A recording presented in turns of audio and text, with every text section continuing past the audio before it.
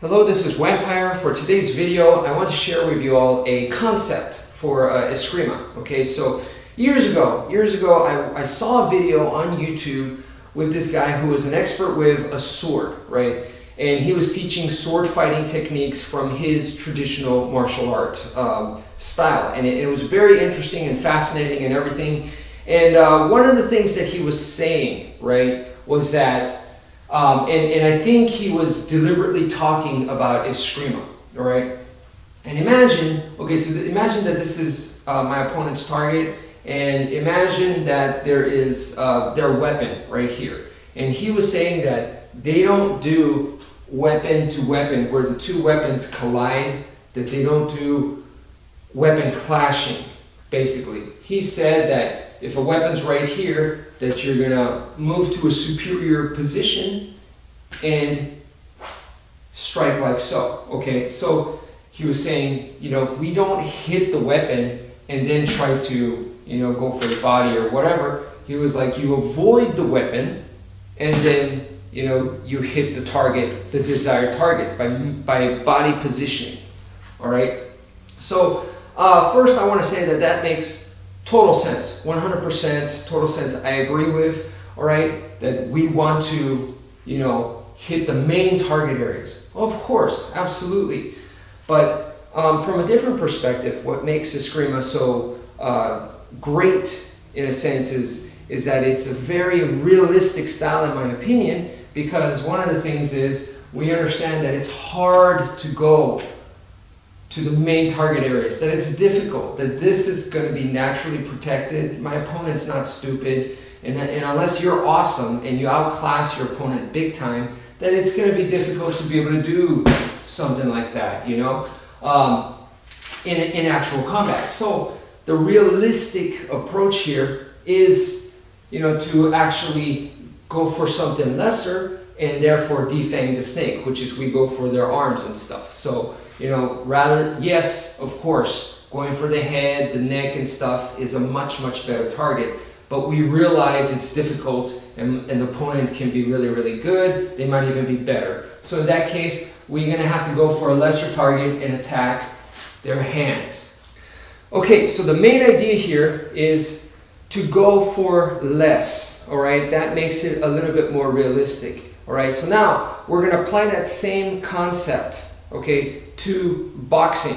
So in boxing, they have the jab, right? So boom, boom, and then they have, of course, something like the cross, which is going to be a lot more powerful. That is the punch that you're going to have a better chance of KOing your opponent, knocking them out.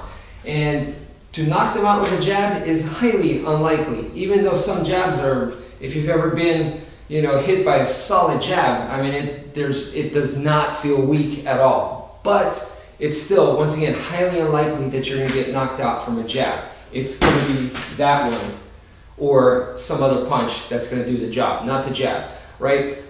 But boxers understand that it's difficult to just land this, so they use the jab, right? So they use the jab to set up the opponent. And for a street situation, that's also exactly the counter argument for a lot of people. They say, well, you know, exactly. I, I, we don't do that. We don't practice the jab because it doesn't have stopping power. Because you know, in a real life situation, I'm not playing a game to set up the opponent for this. I don't have that time. You know, so what I'm going for is the hard, you know, finishing moves, brutal assault moves as fast and as hard as I can. That's what a lot of people think, right? But if we take the Eskrima perspective, you take the Eskrima perspective and you go, okay, my opponent on the street can be very, very tough. And yes, I want to knock him out, but I may not be able to. So therefore, use the same tactics as with the sticks or any other weapon that we do. And so we have to go with a lesser, lesser weapon. Boom, boom, boom. So now the jab makes sense. So if you go use the Eskrima perspective, it's the same as the boxing perspective, and we're on the same page as boxing, but you could use boxing now for the street because, once again, that makes sense for an Eskrima practitioner using that concept. Using lesser weapons, lesser targets, All right, so obviously for this video, I want to work on the jab with you guys, okay? So the jab normally is, you know, the side that's in the front, right? This is the side, so right now it's my right hand, so this, my right hand is just gonna go boom, like that, right? Boom, like so.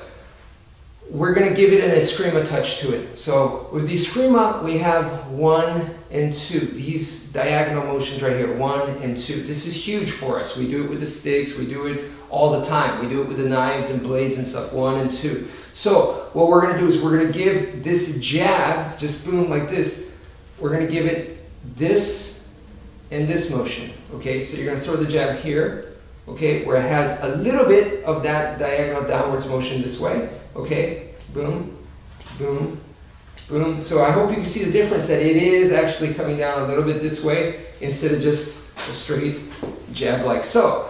So the other one is to go this way. So you're going to put a little bit of motion, a little bit of diagonal cut right there, boom, like so. One and two. This is good like when going to the knife because the knife, your movements are going to be smaller. With a stick, of course, they're a lot bigger. With something like a machete, a short sword, definitely your motions are going to be uh, much longer. But with a knife, they're going to be more compact. So this is much closer to the knife movement. So one, and two. So it's good practice this way. So practice throwing your jabs this way, one and two. And this is also very good uh, because for us, this motion right here, boom, boom. Now we go into the figure eight motion. Okay, so you can throw your jab, boom, and you can go into figure eight right here. So go this way, boom, boom. All right, so throw your jab, two, and then you can see how that figure eight motion leads into our destruction defense. So from here, boom, boom, right? Boom. See? Now I can go this way, boom, boom, with that small diagonal cut this way. And one here, here, boom, boom. So it could go this way, could go this way. That's our figure eight motion. So now we're including defense along with our jab. And it works, it blends in together very well because the angles are the same. The angles of the punching of, of my attack is on the diagonal line, and so is my defense. Whether it's a parry or whether it's a full-blown one of these destructions, whether it's just a parry this way or it's an elbow this way. And if I want to throw a punch, once again, the lines are the same. They blend in together. So I could be throwing my jab out this way, boom, boom, boom, boom, going this way with a small diagonal motion or this way, and my defense is going to be there. All right, so in conclusion, I hope you can see that the boxing and the Filipino martial arts, the Eskrima, they are very, very close-knit together. And this is why I say that basically the boxing and the Eskrima, you guys should do both and basically, you know, intertwine them together. That's it for now. Thank you for watching and take care, folks.